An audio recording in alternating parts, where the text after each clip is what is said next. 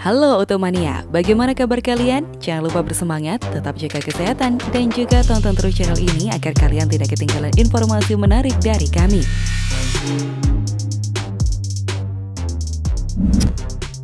Waktu semakin mepet, renovasi atap ambruk dikebut.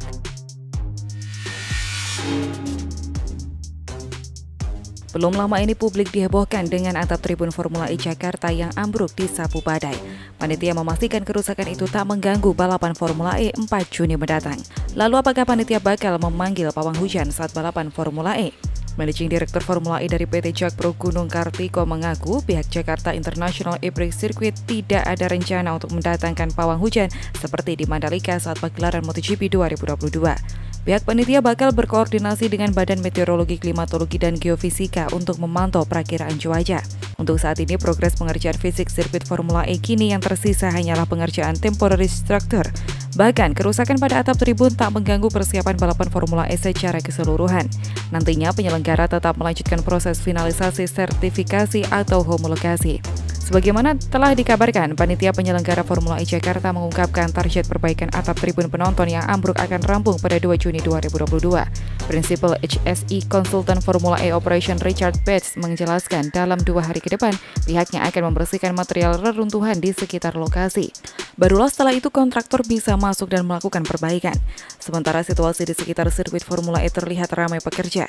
Sejumlah pekerja berada di lokasi. Mereka terlihat bekerja mengingat waktu semakin mepet jelang Formula E Jakarta 2022.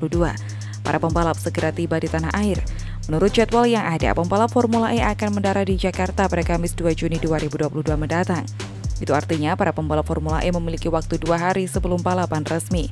Sekedar informasi, balapan Formula E Jakarta 2022 sendiri bakal digelar pada 4 Juni mendatang. Namun sebelum rangkaian balapan dimulai, event Direktur FIO Gemma Rasera memberikan informasi terkait agenda para pembalap. Salah satunya mengenai jadwal kedatangan pembalap sebelum balapan.